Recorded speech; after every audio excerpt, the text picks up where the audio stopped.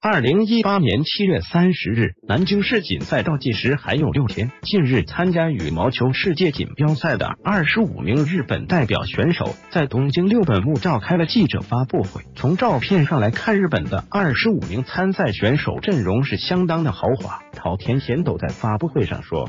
南京市锦赛，他将打好每一场，以夺冠为目标。朝天贤斗剑世界排名第六，他曾七连胜世界第一安塞龙，在今年的比赛中还两次击败李宗伟，世界前十的选手，除了林丹都被他一波带走。在刚刚结束的大马赛和印尼赛二战超级赛中。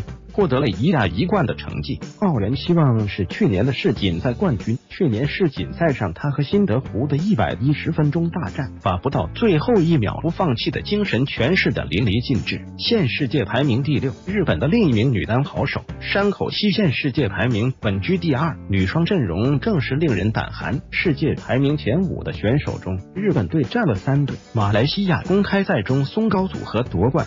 印尼公开赛中由菜花组合夺冠，松本麻佑永元和可奈亚军。日本女双在夺冠之路上可谓是多保险。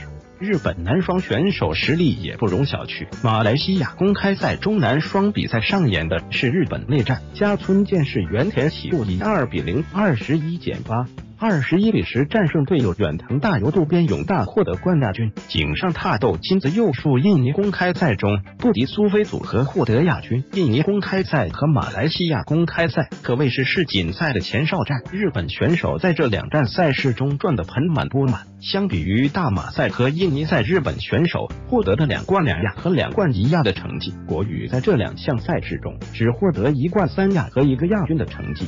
显得很是惨淡。世锦赛抽签出炉后，日本选手桃田贤斗更是笑开了花。世界第一安塞龙和国羽四大男单选手扎堆上半区，让桃田贤斗的夺冠之路更是轻松了不少。李宗伟、斯里坎特、金廷。孙完虎同桃田贤斗坐镇下半区，除了李宗伟胜过一场比赛之外，其余的选手都是完败。道元希望和山口希在下半区避开了头号种子选手戴资颖，在下半区的还有程时炫和陈宇飞。相比于上半区的戴资颖和冰娇、殷达龙。马林下半区的签运较好。男双比赛中，头号种子选手苏卡穆约费尔南迪处于上半区。同区的中国选手有小将韩城凯、周浩东、原田喜武、加村健士、鲍伊摩根森、金子佑树、井上踏斗。国羽的刘成、张楠、李俊慧、刘雨辰。何继婷、韩强坐镇下半区，女双陈清晨、贾一凡和杜月、李英辉都在八分之一区，很有可能会在第二轮相遇。双方的胜者有望和八分之二区的波利拉哈尤争夺一个四强席位。另一对国羽组合黄东萍、李问妹与日本的松友美佐纪高桥李华和松本麻佑永远。可可能在八分之三区，中国组合要想晋级八强，必须通过这两对日本组合。混双国羽实力要强于日本选手。郑思维、黄雅琼现世界排名第二，黄东萍、王懿律现世界排名第三。从抽签来看，国羽混双头号种子选手郑思维、黄雅琼和二号种子选手黄东萍、王懿律分手上下半区，避免了提前内耗的局面。王懿律、黄东萍下半区最强的对手。